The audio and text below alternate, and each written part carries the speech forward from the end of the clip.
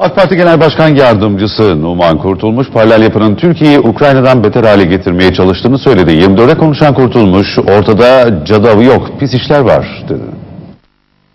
Türkiye'de devletin içerisinde çeşitli kurumlarda, emniyet, adliye e, teşkilatı başta olmak üzere birçok kurumda yerleşmiş olan çok sayıda bu paralel yapıya mensup insanlar var.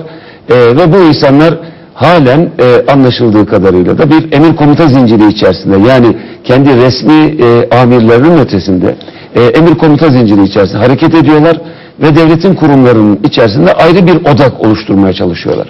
Yani bu Türkiye'nin milli menfaatleri bakımından yapılan bir iş değil. Evet. Yani bu dışarıdan örgütlü bir şekilde birilerine de hizmet ettiği görülen bir yapı. İçeride ve dışarıda çok geniş ortakları olan bir konsorsiyumdu. Evet. Ve sonuçta Türkiye darbenin kenarından döndü. Türkiye Ukrayna olma, Ukrayna'dan hatta bin beter olmanın kenarından döndü. Belki Türkiye Mısır olmanın, Mısır'daki gibi bir darbeyle karşı karşıya kalmanın kenarından döndü. Dolayısıyla ortada bir cadı avı falan yok. Ortada gerçekten yapılmış son derece pis, son derece kirli, karanlık bir takım işler var. Bizim esas o günde karşı çıktığımız şey buydu. Çok temel tespit budur. Ergenekon ve diğer görünür vesayetler yerine hazır burada bir mücadele var. Ortak bir siyasi kararlılık var. Bunun altına giderek, kendilerini gizleyerek devletin içerisinde sanki onların oluşturduğu vesayetin yerine geçmeye çalıştılar.